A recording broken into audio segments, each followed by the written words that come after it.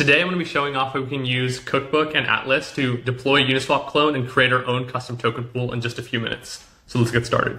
We're going to start off on Cookbook. Cookbook lets us browse contracts and protocols so we can easily get started on any project that we want. So I'm going to actually look for Uniswap v3 factory right now.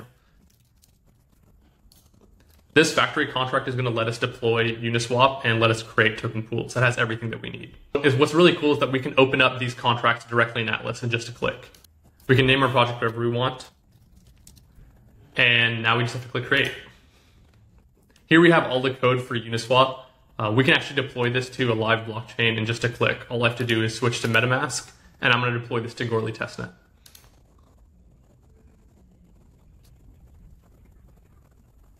So our contract just got deployed. We can see here there's a bunch of state variables, and we can check out all the functions available on this. And right here is the function we actually care about most, this create pool function. This allows us to create a new uh, token pool. What we're going to need though is two token addresses. But rather than find these on the, the testnet, let's actually create these tokens right now. So I'm going to go ahead and create new file. Call one Pepe token. And let's just ask Atlas to write me an ERC20.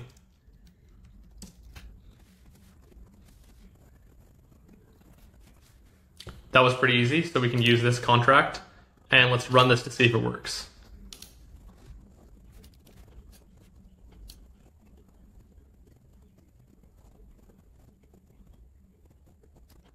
There we have Pepe token. Uh, we just deployed it. Um, and now we can use the same contract code to deploy another token.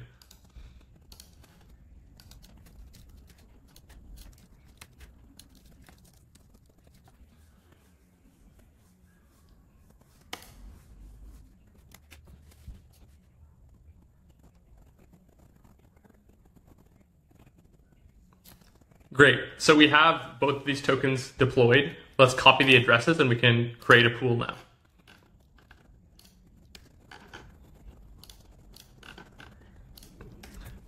So the last thing we need to specify for creating a pool is the actual fee for the pool.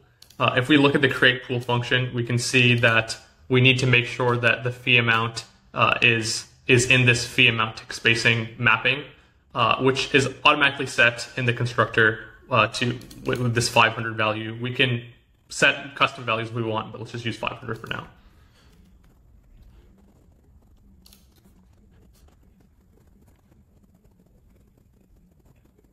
And we just created the pool. Let's check out the block explorer to see what happened.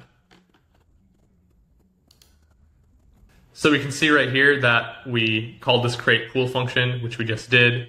Uh, we can see the alt contract code that we deployed, these 33 contracts. So it's pretty cool what you can do with Atlas and Cookbook.